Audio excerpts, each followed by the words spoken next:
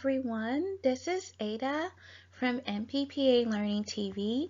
This video offers a minute review of atopic dermatitis. This video is just a mini review. It focuses on the fundamentals of atopic dermatitis. For more extensive knowledge, please review your textbooks and evidence-based articles. Thank you so much for your continued support. General principles of atopic dermatitis. Atopic dermatitis is a dermatite that is characterized by a relapsing and chronic nature. It is a highly prevalent skin condition and the most common dermatological condition in the primary care setting. It is very common in pediatric patients, especially by the age of 5 and declines to approximately 14.5 incidents in teens. A substantial subset of AD pediatric patients progress onto adult AD and will have children with atopic dermatitis. 80% of AD patients will have a predilection to IgE sensitivity, while reactivation of AD by commensal microbes is implicated in some cases. This is hypothesized to be caused by genetic expressions that favor superinfection with Staph aureus and Malassezia. That is the taxonomy for fungi. General principles of AD continued. Atopic triad is synonymous with AD it just means an allergic predisposition to asthma, eczema, and rhinitis. Pruritus is pathognomic for AD. It precedes rashes. Anatomical distribution of AD typically includes skin flexures, hands, and feet. Childhood AD typically starts from the face and presents in flexural surfaces, neck, wrist, and ankles. Lesions in adult AD may be present in hands, mouth, and orbital area. Evidence also suggests that hand dermatitis increases in incidence with aging. The clinical presentation of AD is variegated at best.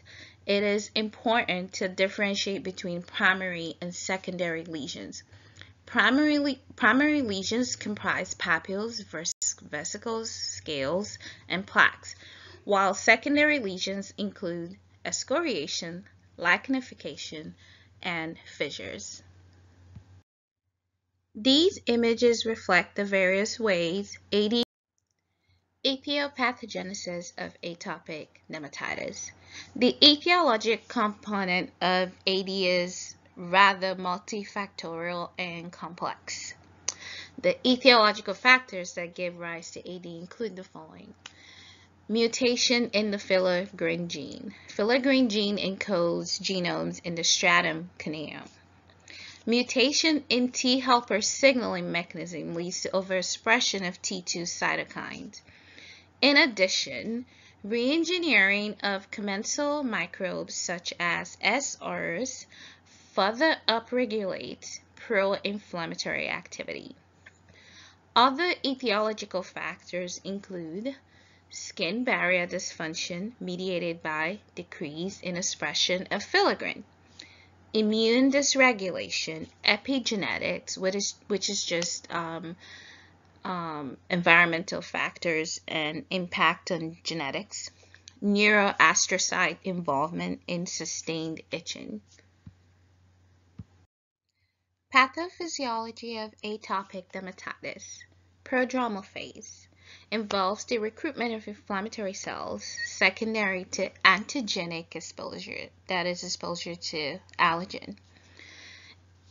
It involves moderate increase in T cell expression, which accounts for the erythematous papule or plaques that will eventually itch.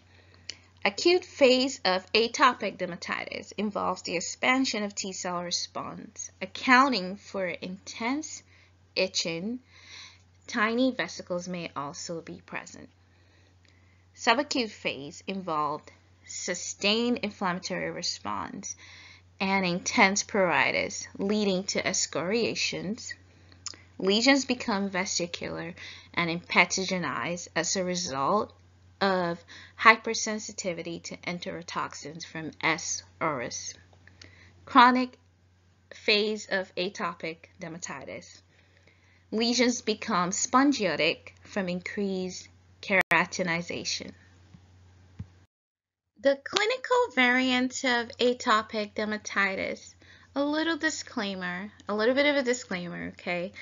This is not an all-conclusive list. Like, atopic dermatitis is a very variegated skin lesion and it can present in multiple ways. Clinical variants of atopic dermatitis can be termed or described as stages of atopic dermatitis, and these include you can have papular dermatitis, which just means it's papular, papular lesion, vesicular dermatitis, exudative dermatitis, eczema herpeticum, which it results from superinfection with HSV. You can also have eczema vaccinatum from being from getting vaccinated.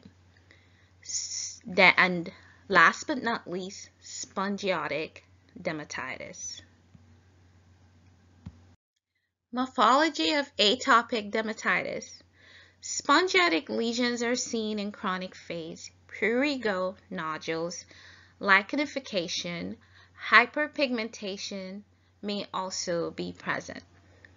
Vesicular lesions are seen in subacute to chronic phase, but more circumscribed to sub subacute phase.